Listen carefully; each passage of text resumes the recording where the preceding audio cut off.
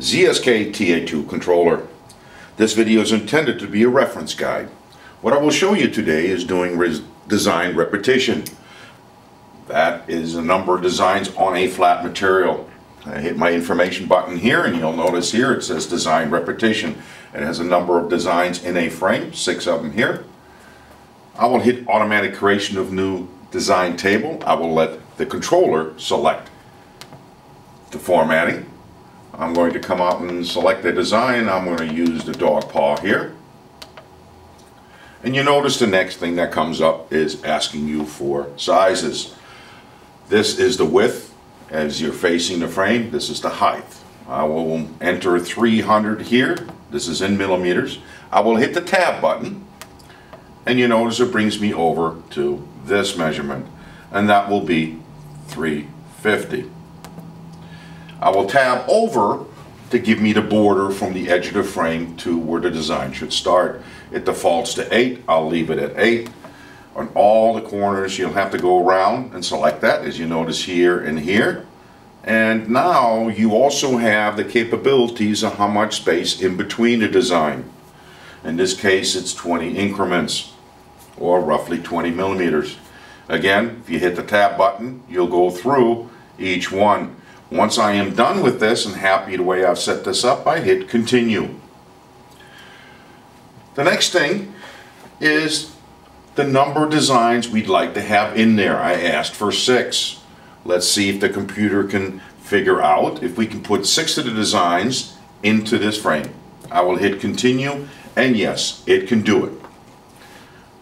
I will now save this button and one thing you will notice right here is there's the design number however the extension now changes to W instead of Z. I can also go and put a new name in here and I'll just simply say test and confirm by saying OK. I can now confirm the entire design. It will come up and it will now be able to be pulled up from the controller and I will look for my W design. You notice in the right hand corner in the bottom of the design it has a number 6.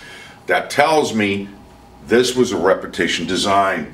There's another one up here that I did 6 and 4 and another 6. So and again the W extension confirms that. You notice when I move off of that, it has a Z extension of a normal design. Once I move on to it, there's my test W00. I will now select that design. On the screen now I have the design itself. One thing to be very careful of is where the design starts. It starts with a cross. That's how it was digitized. So it's going to start in the upper left hand corner on this design here in the center of the upper left hand design. So make sure when you do frame it, and I always like to use needle number one, it's easier to see, make sure that you contour and range, design, hit the design range, so it will fit properly in the hoop, and that you have enough spacing on the left hand side to the center design here.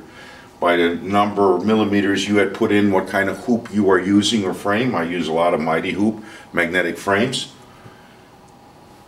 That measurement has been calculated and it should fit in the measurement that I gave it. If that is all okay, you're actually ready to design. Remember, you also need to go and change your needle colors if you wish. In this case, it's only one color. I will just leave it at the color that it is. We are now ready to design by hitting the green button. That is how you put a design, repetition design in on one piece of material. For example, if you do patches or other work, repetition.